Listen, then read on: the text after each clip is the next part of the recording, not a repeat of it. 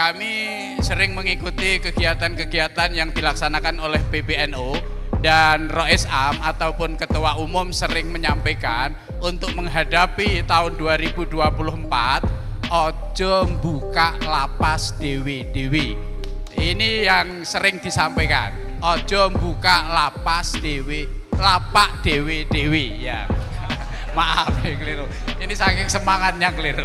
Karena ini sudah mendekati 2024, mohon ada penegasan dan arahan dari PBNU tentang lapak kita akan kita jual ke mana.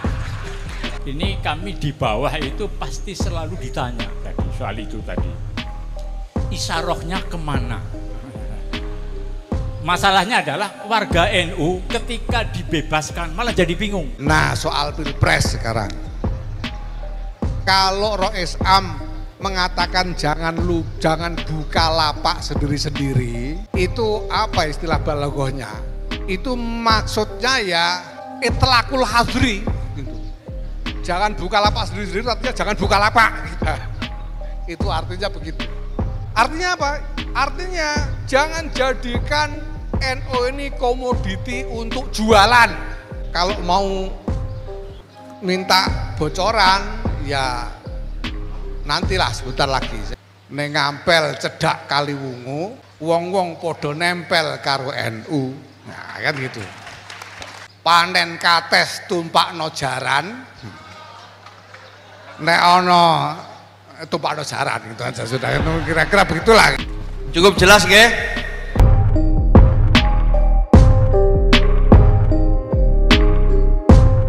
Assalamualaikum warahmatullahi wabarakatuh. Untuk mempersingkat waktu, apa yang disampaikan oleh Ketua Umum cukup jelas. Maka selebihnya sekarang kami minta kepada para kiai, para bapak-bapak, ibu-ibu, saudara-saudara sekalian yang ingin memberikan tanggapan atau pertanyaan, kami persilahkan. Namanya sebutkan, jelas, singkat, padat. Monggo, Kendal. Pertama Kendal, dua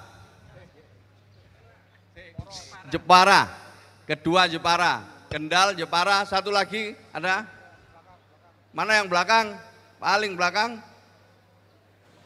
Malah paling depan. Pundi? LBHNU. Sing enten? Ada yang dari cabang satu lagi ada? Monggo nggak usah ragu-ragu, takon apa ya oleh? Sembarang kalir oleh. Takon Kebumen. Nah, gimana? Tiga cukup ya. Pertama Kendal, Jepara, terus Kebumen. Monggo. Pertama Kendal, tuan rumah. Ya, terima kasih. Assalamualaikum warahmatullahi wabarakatuh.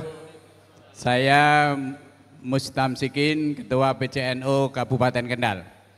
Tadi banyak disinggung oleh Pak Ketum bahwa PBNU itu meluncurkan program khusus yaitu tentang gerakan keluarga maslahah NU.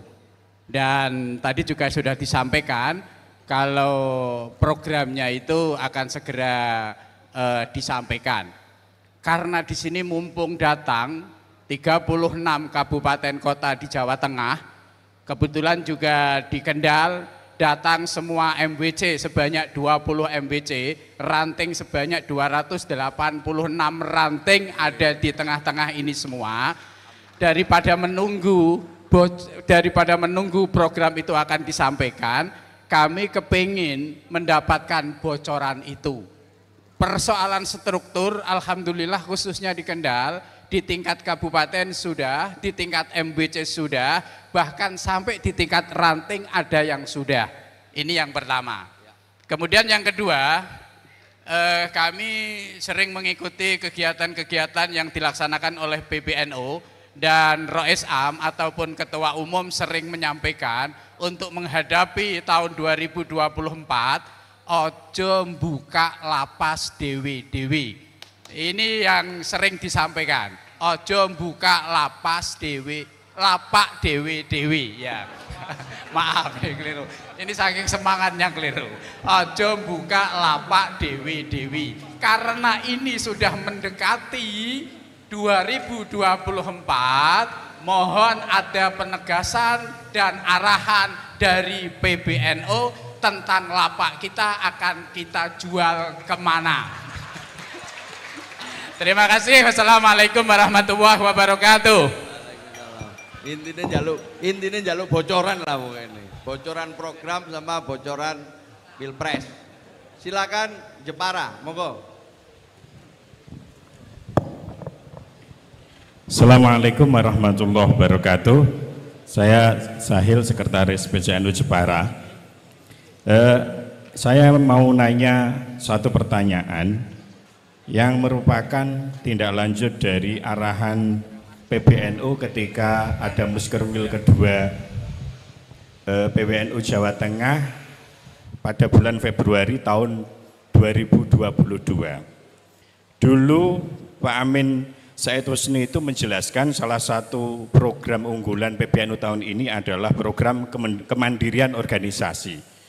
Ada beberapa klaster program kemandirian organisasi itu misalnya untuk NTT dan Indonesia Timur itu ada program Kampung Nelayan, Sumatera, Kalimantan itu ada eh, pengembangan masyarakat di wilayah perkebunan.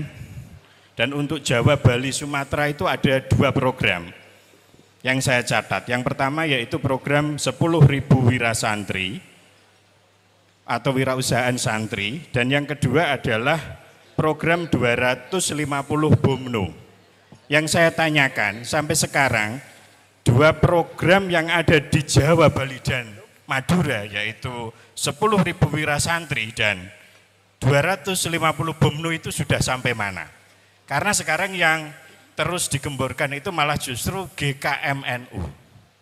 Terima kasih. Matur nuwun. Waalaikumsalam, Terima kasih pertanyaan yang bagus. Assalamualaikum warahmatullahi wabarakatuh. Waalaikumsalam. Kebumen.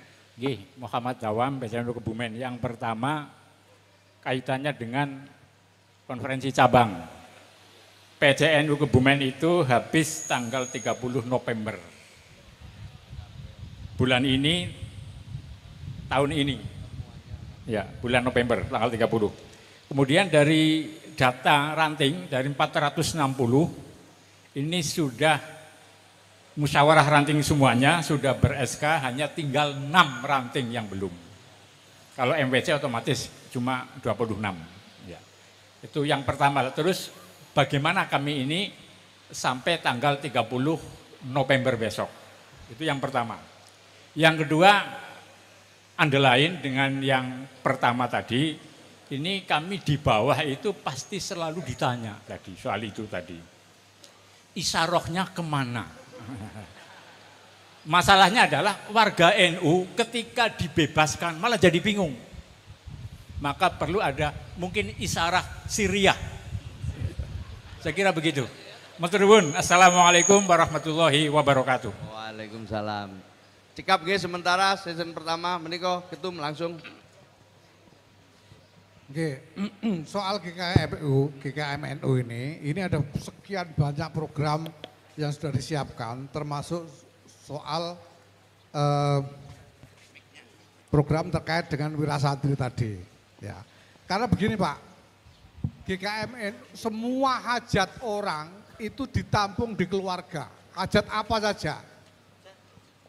Soal agama itu ya urusan keluarga, soal pendidikan urusan keluarga, soal ekonomi urusan keluarga, segala sesuatunya itu bisa ditampung di dalam hajat keluarga. Jadi ini semua kita beri konteks keluarga. Nah sementara ini yang kita jalankan memang adalah program-program dari pemerintah. Karena sudah siap di sana itu, sudah siap modelnya sudah ada, tenaganya ada, anggarannya ada, semua sudah ada semua. Oke. Nah, yang sekarang yang untuk apa namanya memulai ini, untuk start ini, untuk start sekarang yang sudah siap ini, ini program menyangkut penyuluhan keluarga. Ada di situ penyuluhan untuk pranikah dan penyuluhan tentang kerukunan rumah tangga. Ini program dari Kemenak. Ini sudah siap. Ini insya Allah ini mudah-mudahan tidak ada hambatan lagi minggu depan sudah bisa jalan. Didahului dengan surat perintah dari PBNU kepada pengurus-pengurus ini nanti. Sekarang sedang disiapkan penanggung jawabnya Pak Amin Said Husni. Ya, jadi itu nanti akan ditambah dengan macam-macam ada program pendidikan wira swasta dari eh, Kementerian UKM. Ada program penanggulangan stunting dari Kementerian Kesehatan. Ada program yang dari Kementerian Sosial. Ada program penanggulangan kemiskinan dari dari Kementerian dari Bappenas dan Kementerian Sosial. Ada macam-macam nanti kita bawa langsung ke desa. Mudah-mudahan minggu depan ini Senin atau Selasa sudah sudah turun surat perintahnya dan kemudian kita bisa segera selenggarakan. Oke. Nah, soal wiraswas, wirasantri itu nanti juga masuk dalam salah satu bagian dari rangkaian kegiatan GKMNU itu. Karena ini nanti kita genjot setiap minggu, setiap desa itu setiap minggu nanti akan ada kegiatan dalam berbagai macam uh, jenisnya dan bentuknya. Ya. Ya. Jadi ini jenengan ranting-ranting kendal ini ya siap-siap sibuk. Ya. Siap-siap sibuk nanti, ge. Dan ini bagus supaya sampean tidak kemerungsung soal pilpres atau pemilu tok. Karena ada kerjaan ngurusi program. Pokoknya programnya aja ini kita genjot. Oke. Itu. Nah soal BMNU, kita memang baru membuat percontohan pilot project di Jember satu BMN B, uh, satu Bumnu satu Bumnu di Jember Nah alhamdulillah sekarang ini sudah untung tapi belum cucuk. Untung tapi belum cucuk karena cuma satu. Karena yang namanya retail itu harus jaringannya banyak supaya untungnya bejaji. Kalau cuma satu itu enggak, enggak cucuk. Nah sekarang ini kita sudah mulai pengembangan di tiga kabupaten lain di Jawa Timur. Dan kita tiga ini berupa jaringan. Jadi bukan bukan Bumnu yang berdiri sendiri, tapi jaringan dari Bumnu Jember. Ada tiga lagi sekarang sudah berjalan dan kita akan siapkan, targetkan sampai akhir tahun ini nanti ada duplikasi tambah lagi pusat Bumnu seperti yang di Jember itu empat lagi. Ya. Nah kesepakatannya dengan Kemenek BUMN tempo hari adalah sampai Oktober 2024 itu kita targetkan 250 BUMNU seluruh Indonesia. Nah ini kalau modelnya sudah ketemu, ini insya Allah nanti akan lebih mudah untuk bisa dikembangkan ke daerah-daerah lain. Ya, itu soal BUMNU. Nah di samping itu, PBNU juga sekarang ini mengupayakan untuk mencarikan macam-macam bisnis baik dalam kerjasama dengan pemerintah maupun swasta untuk cabang-cabang kategori A yang sudah lolos verifikasi dan validasi sampai ke tingkat rating. Jadi kayak mana tadi itu yang yang mau konfirmasi Kebumen yang sudah tinggal enam ranting itu itu segera selesaikan dan kalau lulus verifikasi, validasi semua, nanti segera PBNU akan mencarikan bisnis untuk PCNU Kabupaten insya Allah ya. Ini, ini menjadi salah satu program PBNU, cabang-cabang yang sudah sudah solid itu kita akan e, carikan bisnis untuk dikerjakan dengan supervisi dari PBNU. Nah, PWNU PWNU tidak dicarikan. Di PWNU ini memang tidak dianjurkan untuk membuat bisnis. Kenapa? Karena kalau PWNU membuat bisnis itu nanti pasarnya berhimpitan dengan pasarnya PCNU, rebutan pasar sama PCNU. Jadi gitu Pak Muzabil, PWNU tidak usah bikin bisnis, tapi nanti PCNU yang dicarikan bisnis oleh PBNU itu nanti diwajibkan menyetor sebagian keuntungan ke PWNI, PWNU. Jadi PWNU-nya terima matang. Ya. PBNU tidak minta setoran apa-apa. Tidak ada kewajiban setoran ke PBNU, hanya ke PWNU. Karena untuk koordinasi tentu juga butuh e, biaya. Nah soal pilpres sekarang. Ya, ya ini memang betul karena memang apalannya Yahan Ayah ini memang selalu nanya ke PBNU. Ini perlu saya sampaikan ya, kalau Rois Am mengatakan jangan lu jangan buka lapak sendiri-sendiri, itu apa istilah balagohnya? Itu maksudnya ya itlakul hazri gitu jangan buka lapak sendiri-sendiri artinya jangan buka lapak gitu. Itu artinya. Ya itu artinya begitu. Artinya apa? Artinya jangan jadikan NO ini komoditi untuk jualan. Oke? Itu artinya itu. Nah apa yang akan kita lakukan sekarang ini? Kita bila diperlukan memang melakukan aliansi-aliansi dengan berbagai pihak dalam rangka dalam rangka memperjuangkan kepentingan-kepentingan warga NU. Nah, kalau mau minta bocoran ya nantilah sebentar lagi. Saya habis dari sini ya, saya nanti habis dikasih nggak karuan saya sudah sebetulnya sudah beberapa hari nggak bisa tidur ini gara-gara memproses komunikasi ini karena mandat dari PBNU. Nanti saya akan lapor ke ROSAM dan kalau sudah itu pesannya bagaimana, cara menyampaikannya bagaimana nanti jenengan akan dapat itu ya. Sabar. Itu ya. Itulah pokoknya. Jadi sabar dikit, wong ini masih berapa bulan masih lapang. Dan nggak usah kemerungsung, nggak usah metenteng, ini yang penting. Nggak usah kemerungsung, nggak usah metenteng itu yang penting. Wong kita ini cuma mau lewat kok. Pemilu dan pilpres itu cuma lewatan yang harus kita lewati. Kita punya tujuan yang lebih jauh dan lebih penting. Nah, kita harus lewat dengan selamat sekarang. NU-nya selamat, negaranya selamat. NU-nya selamat itu artinya apa? NU-nya ini tidak congkrah, tidak saling bertengkar di antara sesama warga, sesama saudara.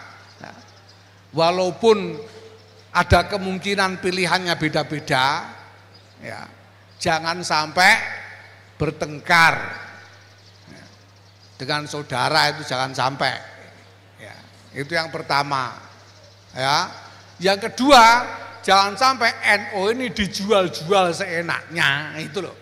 Itu artinya selamat. Ya. Karena kalau ada orang mau jual NO, Pak, itu sekarang itu gampang. Gampang sekali jual NO itu. Pasti lakunya. Cuma kalau kita ini meneruskan kebiasaan yang dulu jualan sendiri-sendiri, itu mesti regone banget murah. Sangat tidak cocok dengan kebesaran dan martabat Nahdlatul Ulama. Lah kalau NU ini 59, eh 56,9 persen dari seluruh Indonesia. Itu mau sampean hargai berapa? Mau sampean hargai berapa? Masa cuma mau dihargai seamplop rong amplop gitu saja kan ya. Itu menjatuhkan martabat namanya. Ya. Tapi kalau aliansi lain kita ini punya tujuan apa? Kita perjuangkan bersama itu namanya aliansi, bukan soal jual menjual. Jadi tawar menawarnya ini soal visi, soal agenda, soal tujuan bersama, bukan soal jual beli. Itu ya. Itu yang hendak kita jalankan sekarang. Nah itu ke mana? Ya sabar dikit. Sabar dikit. Ya katanya nengampel cedak kaliwungu ya wong-wong podo nempel karo NU nah kan gitu.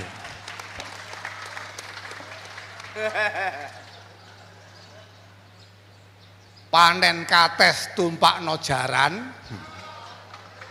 nek ono tumpak no jaran gitu aja sudah kira-kira begitulah kira-kira nah nanti jenengan pada saatnya akan mengerti sendiri lagi ya, jadi ndak usah ndak usah rame-rame ndak usah ribut-ribut wong ini apa namanya cuma lewatan saja kita konsentrasi pada tujuan utama kita di depan.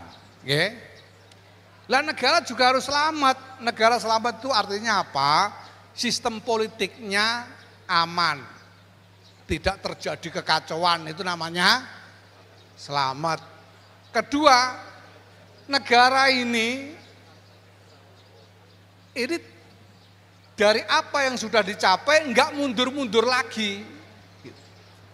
Ya, negara ini kan berjalan arahnya jelas ini sudah ada namanya uh, sekarang istilahnya bukan GBHN apa ya? Ada renbang-renbang itulah. RPJM, RPG apa itu. Itu kan ada. Lah yang sudah dicapai jangan sampai mundur lagi. Yang sudah dicapai ini harus diteruskan sampai ke tujuan itu namanya selamat. Ya, jadi kalau kemarin-kemarin saya bilang kepentingan NO terhadap politik Indonesia satu-satunya kepentingan NU terhadap politik Indonesia adalah keselamatan bangsa dan negara itu dalam pengertian itu. Sistem politiknya selamat, aman, tidak bubar, tidak kocar kacir, ya, dan perjalanan agenda-agenda negara tidak terputus apalagi mundur ke belakang. Tapi yang sudah dicapai bisa diteruskan. Itu eh, apa yang hendak kita perjuangkan, kita upayakan di dalam berbangsa dan bernegara ini termasuk dalam kaitannya dengan pemilu dan pilpres. Ya, ya selebihnya jenengan puter YouTube sendirilah itu saya sudah banyak ngomong soal itu ya. Nanti jenengan lihat sendiri. Saya kira begitu. Ya. Terima kasih. Cukup jelas nggih? Pun enten malin apa mboten? Cukup ya. Nah untuk itu eh, beberapa catatan ingin kami sampaikan dengan apa yang disampaikan Ketua Umum dan juga tadi yang kemudian berkembang dalam dialog. Pertama, PW, PC maupun MWC dan ranting dan terus ke bawah anak ranting benar-benar mengerti apa yang telah menjadi kebijakan PBNU di era Kiai Miftahul Ahyar dan Gus Yahya ini. Apa itu? Yang pertama semua turut serta mensukseskan program transformasi tata kelola perkumpulan dan juga manajemen perkumpulan. Jadi bertransformasi dari konvensional sekarang menggunakan teknologi. Ini semua harus ikut dan belajar secara bersama-sama. Kita tahu tadi disampaikan di sini ya Jawa Tengah sudah memulai dan melaksanakan program itu. Meskipun belum sempurna. Salah, salah satu contoh tidak sempurnanya itu ketika tadi mengumumkan para pengurus cabang yang mendapatkan penghargaan. Nah, itu diumumkan mestinya ya muncul di sini langona itu bertransformasi ya. Iki ya manual. Mestinya tadi diumumkan pemenang-pemenangnya, ah, nama-nama pemenangnya muncul di layar ini termasuk foto-foto ketua cabangnya. Ah, itu baru. Tapi ini bagian dari proses lah ya nanti ke depan seperti itu. Ini bertransformasi. Jadi semua harus ikut, semua harus sama-sama belajar. Yang kedua yang tadi disampaikan oleh ketua umum, kaderisasi harus jalan. Ukurannya cabang wilayah sukses itu berapa kali melaksanakan kaderisasi sesuai dengan peraturan perkumpulan sebagai turunan dari ADART. Ikut doa Sampean pidato Allahu Akbar, Allahu Akbar, Allahumma sholli ala Muhammad tapi lek kaderisasinya tidak pernah dilaksanakan, yaitu bisa dikatakan cabang belum berhasil. Berapa kali cabang menyelenggarakan kaderisasi sesuai dengan urutannya dan didukung oleh seluruh lembaga dan badan otonom yang ada.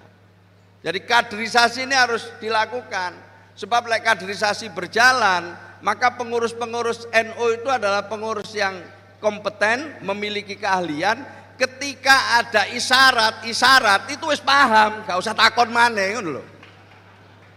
Kan takon ini kadang-kadang ya cuma penegasan aja padahal ya wis seru saja deh ngono. Ya, jadi kalau tanya ya sudah tahu lah, tentu NU tadi Gus Yahya keselamatan bangsa. Kalau diteruskan keselamatan bangsa itu gimana? Ya nanti yang terpilih yang tidak berpotensi tukaran. Kan kadang ono iku bupati ambek wali wakil bupati waktu kampanye rukun. Pada saat jadi tukaran. Ojo milih calon presiden yang ini iso nggak selamat awake dhewe lah presidennya ambek wapres tukaran. Krono mungkin basis dukungannya beda. Lu enggak ini contoh like kader misalnya paham. Kita terus nuai titik. Jadi sampai ya saya saiki rukun tapi lek sudah ditukaran, potensi itu mungkin saja muncul nanti kalau sudah terpilih. Sing siji seneng tahlil, sing siji pura-pura seneng tahlil. Nah, misale. Misal kula niki nyontoh misal. Lo ya, ya sekarang rukun tapi nek wis dadi apa? Apa mana posisinya cuma wapres? Itu jadi penonton tok awake dhewe. Moro langsung di video, wah iki apik, Lah kudu itu termasuk keselamatan bangsa ada di situ. Halo.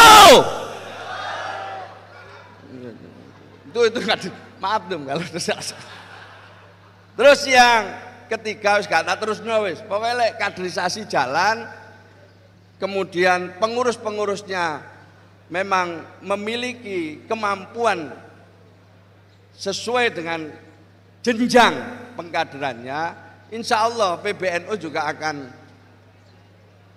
enak.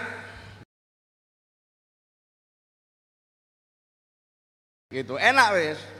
Karena pengurusnya wes ada pendidikan sampai ke eselon 2. Lah PD PKPNU itu untuk eselon yang di bawah untuk ranting dan MPC. BMKNU baru untuk cabang sama wilayah. AKN baru untuk eselon 1 di PBNU. Jadi ini laksana pemerintahan. Nah kalau begitu kan enak sudah. Di bisi itu ambil ketua umum wis ngene gak takon mana wis paham. Pokoke sing selamat ngono ae. Sing kira-kira gak selamat ya pikiran. Sing jero mikire. Paham ya? Nah kemudian yang ketiga adalah GKMNO tadi itu sebagai wadah bagi semua program karena sasarannya langsung keluarga. Saya tidak akan ulang lagi, tapi ini harus kita sukseskan secara bersama-sama. Jelas. Kemudian yang terakhir kemandirian ekonomi kalau hasil muktamar disebutnya itu tadi elaborasinya macam-macam. Bumnu tadi sudah ditanya dan usaha-usaha yang sekarang jalan baik di tempat wilayah cabang itu diteruskan. Tapi PBNU akan memberikan frame usaha yang baru yang itu nanti bisa ditindaklanjuti sampai tingkat MBC. Jelas nggih? Jadi empat itu apa yang jadi eh, apa perbincangan kita di sini semangatnya di situ dan yang penting kita sebagai perkumpulan memang harus baris. Ada wiro Islam itu ya kita tindak lanjuti di tempat masing-masing. Saya kira itu kurang lebihnya mohon maaf, nek enten kurang-kurangi